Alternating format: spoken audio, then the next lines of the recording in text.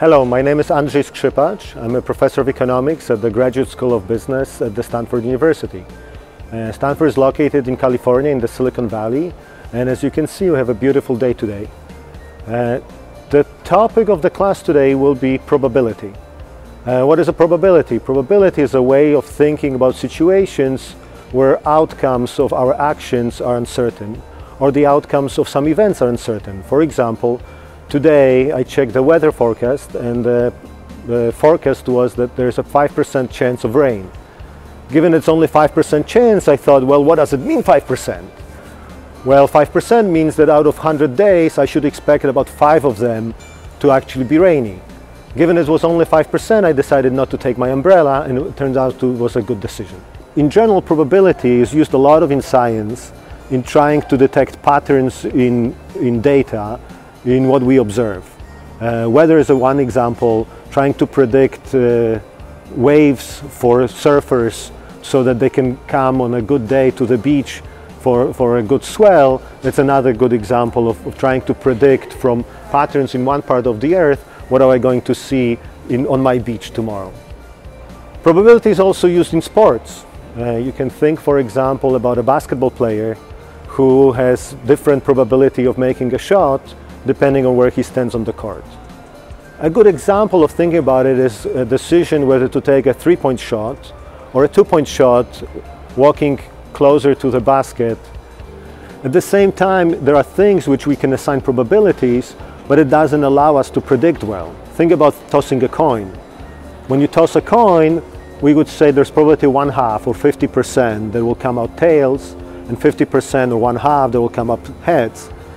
We can assign probabilities, but that doesn't really help us guess whether it will be heads or tails.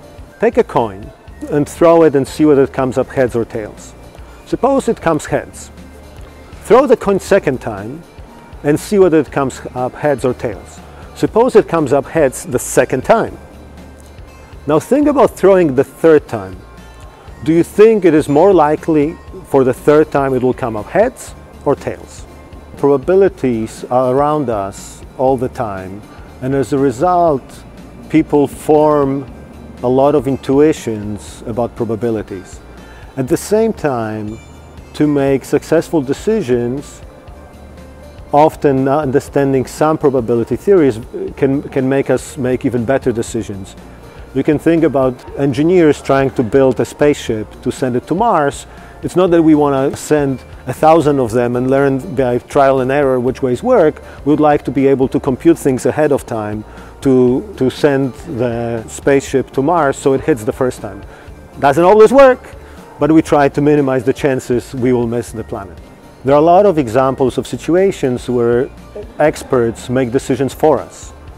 There are people whose job is to make predictions about weather, especially for companies whose business depends very much on weather. Think about a manager of a power plant who has to predict whether the electricity will be needed or not. That very much depends on how much wind there is. Another field in which there's a lot of people who work on trying to predict outcomes and calculate probabilities of certain outcomes is finance. There are people working in banks whose job is to pick companies to invest in and the decision whether to invest or not depends on their estimates of probabilities whether certain inventions will be profitable or not. You may wonder whether there's still a lot of areas in science where we are trying to compute probabilities, that we are far from knowing what the patterns are that, that would give us probabilities. A good example of that would be weather.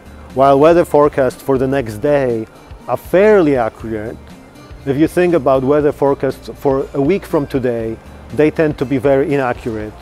Another great area that we would love to have better probabilities to predict better is earthquakes. That we still don't have good ways of predicting when earthquakes and where would they appear. And the third thing could be curing cancer. We would like to have better models that predict which kinds of cures work for which particular cancer. I would like to invite you now to your lesson to learn more about probabilities. And there is a hope that if you learn it and you decide you like it, you can become a scientist and create great discoveries for us all.